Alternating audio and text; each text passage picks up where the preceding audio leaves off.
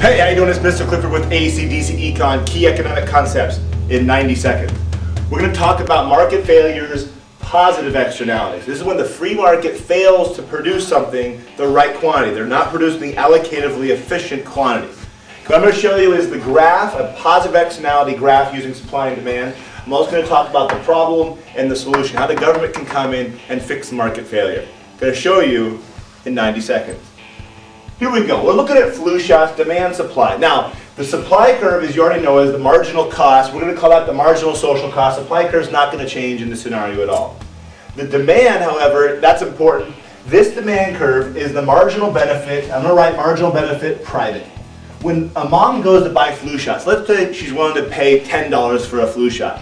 She doesn't factor in the additional benefits to other people, right? She factors in the benefits to her. This demand is a benefit to her and her family, right? She gets a flu shot for her kid. Her flu, her kid's not going to get sick. What you have to do is factor in there's an additional benefit to society, a spillover benefit.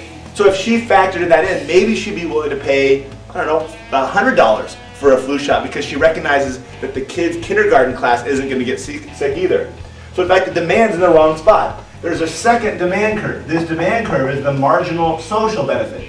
The benefit to society, right? The benefit to the individual, plus the fact that other people are going to benefit as well. Well, take a look. This first quantity here, this is the quantity free market, right? This is the amount to be produced in the free market. But if you factor those external benefits, this is the quantity that would be produced, right? This is the quantity that's optimal. So, what's the problem? Well, take a look. The problem is clear right? Right here at quantity free market, too little is being produced. Not enough output is being produced. There's not enough flu shots. Okay? And the reason I know that is because the marginal social benefit is greater than the marginal social cost at quantity free market.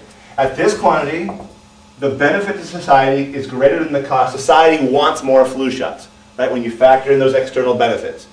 So that's the problem. What's the solution? Well, the government can come in and can subsidize. If the government subsidizes consumers, it sends a check in the mail saying, hey, here's another $90 to go buy a flu shot, that'll shift the demand curve over.